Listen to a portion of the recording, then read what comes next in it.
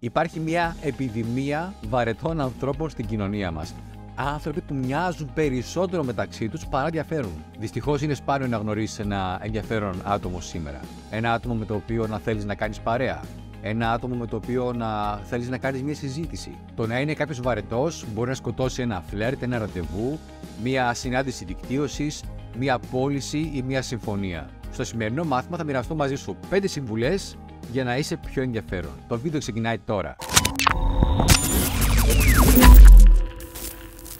Γεια σου, είμαι ο Θοδωρής Αραμπατζής, δημιουργός του GreekCoach.gr και συγγραφέας του βιβλίου Ακαταμάχητη στην επικοινωνία και αυτό που κάνω να βοηθάω επαγγελματίες, coaches και άτομα που ασχολούνται με τις πωλήσεις και το δικτυακό marketing να πετύχουν στη ζωή και στην εργασία τους online και offline με απλό τρόπο. Όλοι μας έχουμε βρεθεί σε μια συζήτηση όπου όσο και να προσπαθούσαμε, οι σκέψεις μας ταξίδευαν μακριά από το άτομο που είχαμε μπροστά μας. Δεν είχε τίποτα ενδιαφέρον να πει, δεν είχε τίποτα ενδιαφέρον επάνω του. Αν και ο Τζόρνταν Πίτερσον λέει υπόθεση ότι κάθε άτομο με το οποίο μιλάς γνωρίζει κάτι που εσύ δεν γνωρίζεις. Ναι, υπάρχουν κάποιες περιπτώσεις όπου προσπαθείς πραγματικά να βρεις κάτι ενδιαφέρον σε μια συζήτηση ή σε κάποιο άτομο και δεν μπορείς. Και αν δεν θέλεις να νιώθεις κάποιος έτσι για εσένα, υπάρχουν κάποια πράγματα που μπορείς να κάνεις για να είσαι πιο ενδιαφέρον άτομο. Ένας από τους καλύτερους τρόπους για να μην είσαι βαρετός είναι να είσαι περίεργος για τον κόσμο γύρω σου. Κάνε ερωτήσεις, αναζήτησε εμπειρίες και προσπάθησε να μαθαίνεις κάτι καινούριο κάθε μέρα. Αυτό όχι μόνο θα σε κάνει πιο ενδιαφέρον,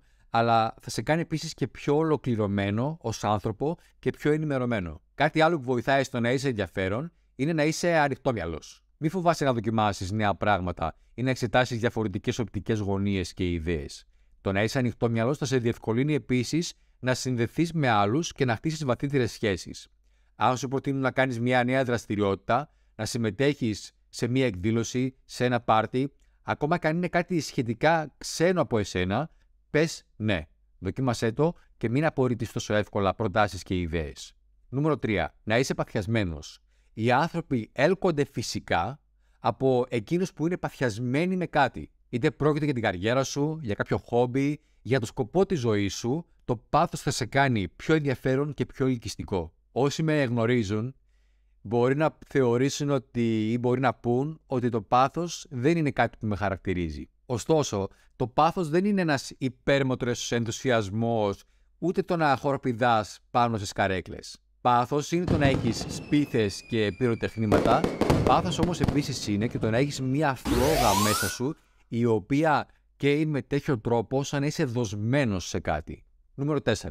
Το να είσαι καλός ακροατής σε κάνει να είσαι πιο ενδιαφέρον άτομο. Όταν ακούς προσεκτικά τους άλλους και συμμετέχεις σε ουσιαστικές συζητήσεις, θα έχεις περισσότερες πιθανότητες να χτίσεις βαθύτερες σχέσεις και να θεωρηθείς ως ένα άτομο που αξίζει κάποιος να αφιερώσει χρόνο μαζί του. Στο βιβλίο Πώς να κερδίζετε φίλους και να επηρεάζετε ανθρώπους, ο Ντέλ Κάρνεγκη αναφέρει ένα παράδειγμα πως κάποια στιγμή γνώρισε κάποιον σε ένα ταξίδι και καθ' όλη τη διάρκεια του ταξιδιού έκανε ερωτήσεις και άκουγε με προσοχή αυτό το άτομο.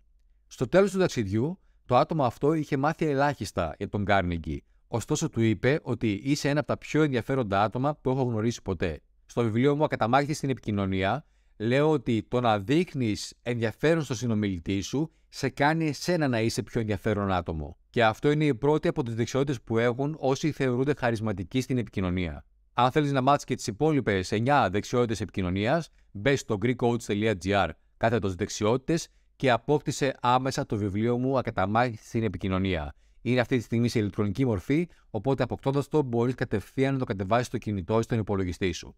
greekcoach.gr κάθετος δεξιότητες. Τέλος, να έχει αυτοπεποίθηση. Να είσαι σίγουρος για τον εαυτό σου και τις ικανότητές σου. Η αυτοπεποίθηση είναι μεταδοτική και οι άνθρωποι έλκονται με φυσικό τρόπο από εκείνους που την αποπνέουν. Το να έχεις λοιπόν αυτοπεποίθηση όχι μόνο θα σε κάνει πιο ενδιαφέρον, αλλά θα σε κάνει και πιο ελκυστικό στους άλλους. Μπορείς να δεις εδώ το βίντεο που είχα κάνει παλιότερα για το πώς να έχεις περισσότερη αυτοπεποίθηση, αν βλέπεις αυτό το βίντεο στο YouTube. Για να μην είσαι λοιπόν βαρετός, θυμίσου να είσαι περίεργος, ανοιχτόμυαλο, παθιασμένος, καλός ακροατής και να έχεις αυτοπεποίθηση. Ενσωματώνοντας αυτές τις συμβουλές στην καθημερινότητά σου, θα είσαι σίγουρος ότι θα κάνεις θετική εντύπωση και θα θεωρείσαι ως ένα ενδιαφέρον και ελκυστικό άτομο. Αν έφτασες μέχρι εδώ και σου άρεσε αυτό το βίντεο, κάνε οπωσδήποτε ένα like, άφησε ένα σχόλιο ε, το τι σου άρεσε περισσότερο, κάνε εγγραφή στο κανάλι μου, πατώντας το κόκκινο κουμπί, πάτα και το καμπανάκι για να ενεργοποιήσεις τις ειδοποιήσεις. Ανεβάζω ένα βίντεο περίπου κάθε εβδομάδα. Βάλε σε εφαρμογή τις σημερινές ιδέες και σταμάτα πλέον να είσαι βαρετός.